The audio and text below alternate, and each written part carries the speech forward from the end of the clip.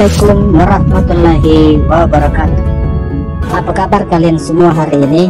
Semoga kita senantiasa diberikan kesehatan Dimurahkan rezeki dan dijauhkan dari segala mara bahaya Amin ya rabbal alamin. Pada video kita kali ini Kita akan melihat dan membahas tentang salah satu ikon baru kota Kendari Dan merupakan kebanggaan bukan hanya masyarakat kota Kendari tapi juga kebanggaan warga Sulawesi Tenggara yaitu jembatan Teluk Kendari. Jembatan Teluk Kendari adalah salah satu proyek strategis nasional pemerintahan Presiden Joko Widodo.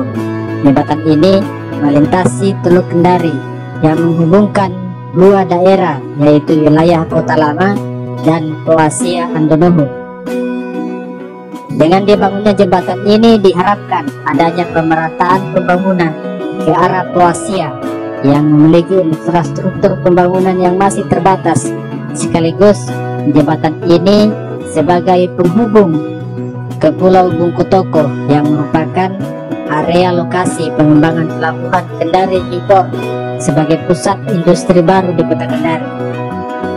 Pelabuhan ini berfungsi sebagai pelabuhan penumpang dan pelabuhan barang atau peti kemas baik yang akan masuk maupun yang akan keluar kota Kendari.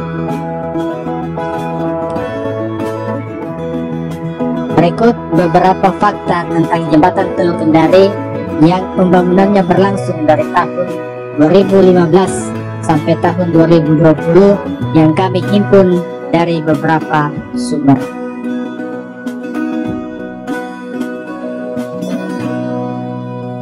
1. Jembatan kabel terpanjang ketiga di Indonesia. Jembatan Teluk Kendari dengan panjang 1349 meter atau 1,35 km merupakan jembatan dengan model bentangan kabel ketiga terpanjang di Indonesia setelah jembatan Suramadu dan jembatan Pulau Balang di Balikpapan, Kalimantan Timur.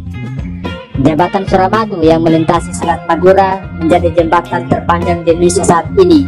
Jembatan sepanjang 5.438 meter tersebut menghubung, menghubungkan Pulau Jawa dan Pulau Madura. Sedangkan jembatan Pulau Balang yang menghubungkan kota Balikpapan dengan Kabupaten Penajam Pasar Utara, calon lokasi ibu kota baru Indonesia atau IKN Nusantara di Kalimantan Timur memiliki panjang jembatan sepanjang 3,34 km.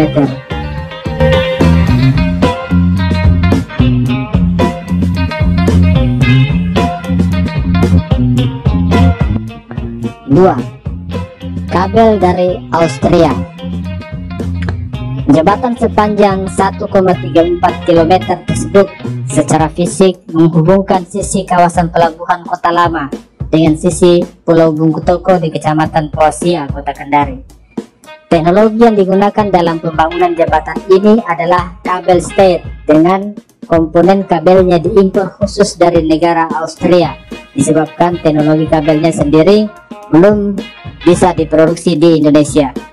Jembatan Teluk Kendari memiliki lebar 20 meter dengan 4 lajur serta median dan trotoar.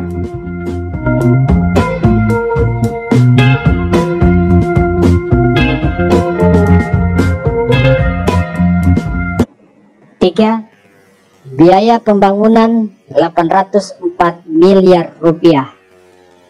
Pembangunan jembatan Teluk Kendari dikerjakan dengan konsorsium kontraktor PT PP Persero dan PT Nindya Karya Persero. Pembangunan jembatan Teluk Kendari berada di bawah tanggung jawab Balai Pelaksana Jalan Nasional atau BPJN 21 Kendari, Direktorat Jenderal Bina Marga dengan kontraktor pelaksana konsorsium yaitu PT PB dan PT Nindya Karya. Biaya pembangunannya bersumber dari dana APBN Kementerian PUPR sebesar 804 miliar melalui skema kontrak tahun zaman dari tahun 2015 sampai tahun 2020.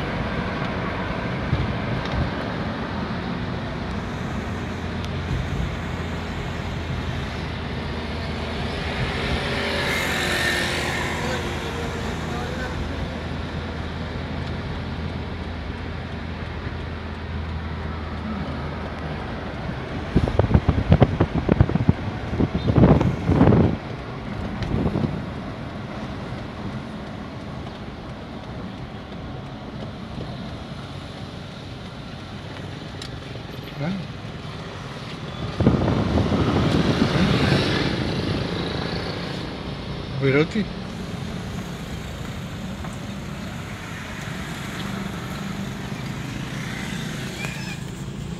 Empat, Ranjau Laut. Jembatan ini awalnya ditargetkan selesai dalam 4 tahun, tetapi molor karena berbagai kendala. Salah satunya adalah adanya ranjau laut, sisa peninggalan Jepang yang tersebar di lokasi pembangunan jembatan.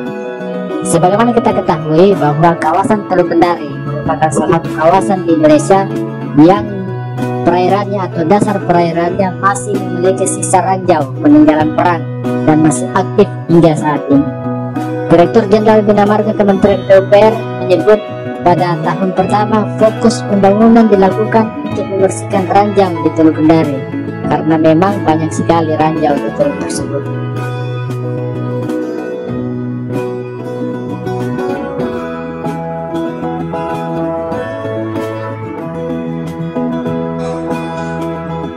Lima, menghemat waktu perjalanan. Pembangunan jembatan Teluk Kendari akan mempermudah pergerakan masyarakat yang berada dari sisi kawasan Kota Lama menuju sisi Poasia, Andonohu. Masyarakat selama ini apabila hendak bergerak dari Poasia ke wilayah Kota Lama ataupun sebaliknya harus memutari Teluk Kendari sejauh 20 km, menyeberangi Teluk Kendari menggunakan perahu penyeberangan lokal atau biasa disebut dengan papalimbang Adapun jembatan Teluk Kendari dapat memangkas waktu tempuh dari 30 menit menjadi 3 menit perjalanan saja.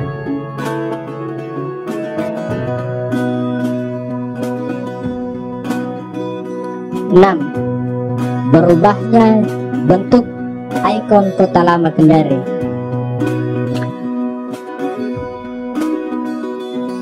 Lama Kendari merupakan cikal bakal dari berdirinya kota Kendari di kota lama inilah pembangunan kota Kendari bermula dari zaman pemerintahan Hindia Belanda, kedatangan Jepang, dan kemerdekaan Indonesia. Di lokasi kota lama saat ini banyak ditemukan bangunan sisa peninggalan Belanda maupun bangunan pertokoan yang telah berusia ratusan tahun. Disebabkan karena areal kota lama yang tidak begitu luas dengan topografi pegunungan, menyebabkan konstruksi fisik jembatan Teluk Kendari menggusur bangunan-bangunan yang berada di areal kota lama Kendari.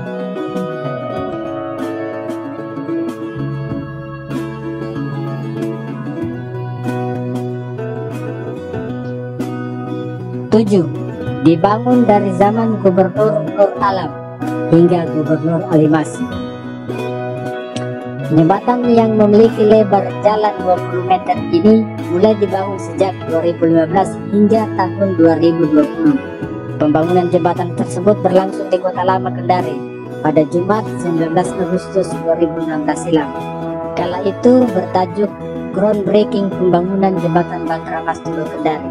Acara ini dihadiri oleh Sekretaris Jenderal Kementerian Pekerjaan Umum dan Perumahan Rakyat kala itu yaitu Taufik Wijoyono mewakili Menteri PUPR Muhammad Basuki Hadi Mulyono dan dihadiri oleh Gubernur Sulawesi Tenggara saat itu Bapak Nur Alam.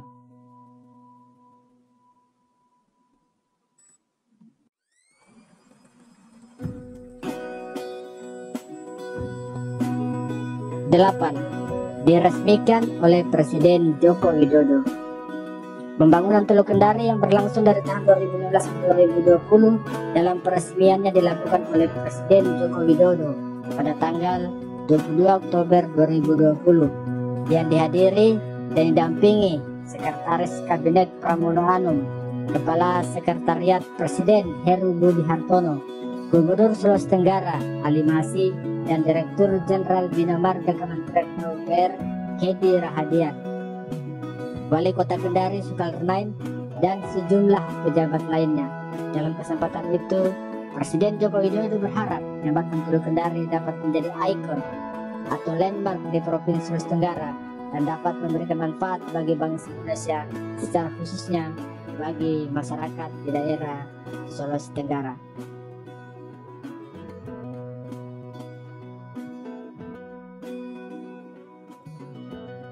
Demikian beberapa fakta yang kami berikan perihal tentang pembangunan Teluk Kendari. semoga informasi yang kami berikan memberikan manfaat dan saya akhiri. Wabillahi taufiq wal wassalamualaikum warahmatullahi wabarakatuh